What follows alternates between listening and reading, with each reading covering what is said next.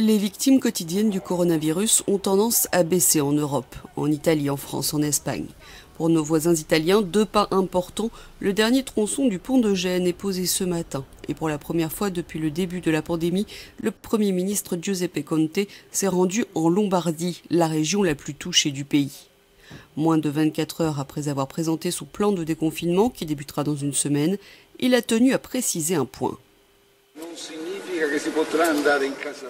Cela ne signifie pas que vous pourrez aller chez tout le monde, rendre visite à des amis, à des parents. Enfin, des parents, oui, c'est possible, désolé, mais pas pour rendre visite à des amis, pas pour faire la fête. Vous pourrez rendre visite à des personnes avec lesquelles vous avez une relation.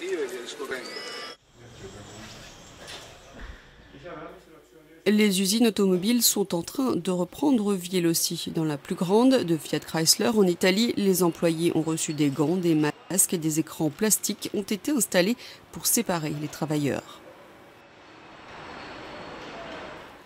En Espagne, le roi Felipe VI et la reine Laetitia ont visité le siège des services médicaux d'urgence dans la région de Madrid.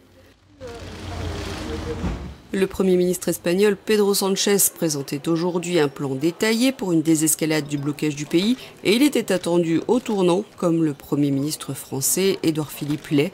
Il doit présenter au Parlement une stratégie nationale de sortie de crise, stratégie qui sera ensuite débattue avant le vote de recommandations.